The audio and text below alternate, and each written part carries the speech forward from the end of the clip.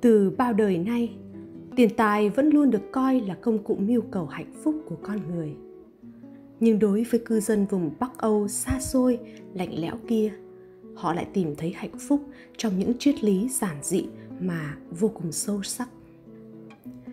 Benjamin franklin đã từng nói, hạnh phúc được tạo nên từ những niềm vui nho nhỏ xảy ra mỗi ngày, chứ không phải những khoản tiền kích xù hiếm khi xuất hiện phần lan, na uy, đan mạch, iceland và thụy điển luôn nằm trong top những nước hạnh phúc nhất trên thế giới. Thay vì đề cao phát triển kinh tế để dân giàu nước mạnh, các quốc gia bắc âu lại chọn cách tập trung vào sự cân bằng và kết nối. Đối với họ, hạnh phúc mới là mục tiêu cao nhất cần hướng đến. Ngày qua ngày, hàng triệu người dân vùng scandinavia vẫn duy trì sự cân bằng giữa công việc và cuộc sống. Họ không bị áp lực đè nén hay căng thẳng bủa vây. Họ có đủ thời gian để tận hưởng cuộc đời và làm những gì mình mong muốn. Tứ trụ hạnh phúc nâng đỡ cuộc đời họ mỗi ngày. Triết lý thứ nhất là gồm hạnh phúc là vừa đủ. Lạc gồm là một phần quan trọng của văn hóa thụy điển. Nó mang hàm ý, không quá ít, không quá nhiều, chỉ cần vừa đủ chỉ một từ đơn giản nhưng lạc gòm đã tái hiện toàn bộ cái nhìn của con người thụy điển về cuộc sống. Con người chỉ cần vừa đủ, đừng nên ham muốn quá nhiều. Khái niệm này khuyến khích chúng ta theo đuổi sự cân bằng trong cuộc sống, cho dù điều này có khó đến đâu. Hãy làm mọi thứ trong chừng mực.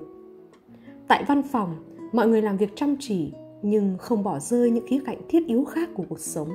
Đó chính là tinh thần lacom giữ mọi thứ ở mức vừa đủ thay vì làm việc 60 giờ một tuần đến mức vắt kiệt bản thân và ngập chìm trong stress, họ đi tìm hạnh phúc trong sự cân bằng. Thay vì sống phô trương, họ đi tìm hạnh phúc trong sự khiêm nhường, giản đơn. Thay vì bị ám ảnh bởi cuộc đua vật chất, tiền tài, họ đi tìm hạnh phúc bằng cách quan tâm đến môi trường xanh hay phát triển bền vững. Con người thụy điển coi lạc cồm như một lối sống, một thói quen thường trực họ phần lớn biết cách chấp nhận và hài lòng với mọi thứ diễn ra xung quanh bản thân. Đó chính là một trong những bí quyết hàng đầu để tìm thấy bình yên. Đừng để cuộc đời ám ảnh mình. Triết lý thứ hai hugu hạnh phúc đến từ những điều nhỏ bé. Trong cả tiếng đan mạch và tiếng na uy hugu đều có nghĩa là sự khuyến khích, sự động viên và niềm vui tại đan mạch Hugo không chỉ là một từ, mà là văn hóa cốt lõi của quốc gia này. Nó cho phép con người ta được đặt trách nhiệm và căng thẳng sang một bên để tận hưởng khoảnh khắc hiện tại và hòa mình vào cuộc sống xung quanh. Hugo có nghĩa là tận hưởng cuộc sống với gia đình và bạn bè, trân trọng từng phút giây. Hugo có nghĩa là nắm bắt từng khoảnh khắc và khiến nó trở nên đặc biệt đừng cố thực hiện mọi thứ vội vàng, qua loa chỉ để cho có. Điều quan trọng là bạn phải biết tận hưởng những gì mình đang có, chứ không phải là những điều mình sẽ có. Hugu là cảm giác được thư giãn, hạnh phúc, hài lòng và bình yên. Với triết lý này, không có chỗ cho sự hiện diện của giả tạo hay lo lắng. Dành thời gian để chìm đắm trong sách truyện, đi dạo, đạp xe, ăn uống xem chương trình tv ưa thích cùng bạn bè và người thân hay chơi game.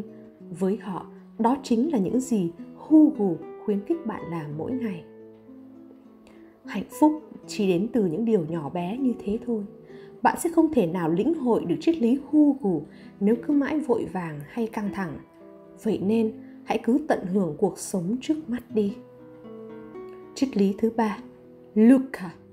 Hạnh phúc được bồi đắp từ những thói quen luca trong tiếng đan mạch có nghĩa là hạnh phúc nhà văn Meg Viking đã từng viết thế này Copenhagen là nơi luca nhất trên thế giới cứ 5 giờ chiều tan làm, mọi người sẽ đạp xe về nhà, chơi với con khoảng 2 tiếng, sau đó ra ngoài để giúp đỡ một người lạ mặt nào đó, rồi lại về nhà thắp năm ngọn nến và ngồi xuống ghế, xem bộ phim trinh thám trên TV nói về một kẻ sát nhân hàng loạt. Hạnh phúc không phải là đích đến, mà là thói quen. đó là những điều ta vẫn làm hàng ngày để khiến cuộc đời trở nên tươi đẹp hơn. Và để thực sự hạnh phúc, bạn phải tự tay xây dựng cuộc sống mình mong muốn, bởi bạn là người duy nhất chịu trách nhiệm cho toàn bộ đời mình. Mỗi sáng thức dậy, hãy học cách biết ơn, biết vui, biết sống điều độ biết vươn tới thành công hãy cảm nhận nhựa sống đang căng tràn khắp mọi nơi thay vì sự trống rỗng của một cuộc sống hoàn hảo có thể chẳng bao giờ có thật. Trong báo cáo hạnh phúc thế giới năm 2012 có viết không ai có thể thực sự hạnh phúc nếu đó không phải là cuộc đời do họ tự lựa chọn. Triết lý thứ tư, Shishu, hạnh phúc là vượt qua tất cả.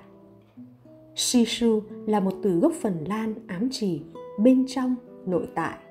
Trong văn hóa của người Phần Lan, đây là triết lý về sự kiên định và quyết tâm. Shishu không phải lòng can đảm bộc phát mà là khả năng duy trì được lòng can đảm đó. Từ này gần như không thể chuyển nghĩa sang bất cứ ngôn ngữ nào khác.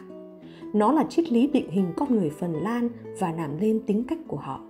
Shisu đại diện cho thông điệp điều gì phải đến sẽ đến bằng bất kể giá nào.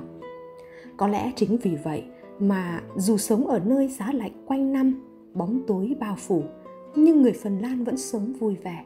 Họ luôn tin rằng mình đủ mạnh mẽ để có thể vượt qua tất cả, để rồi tìm thấy hạnh phúc ngay giữa nghịch cảnh chỉ trực chờ vui lấp họ.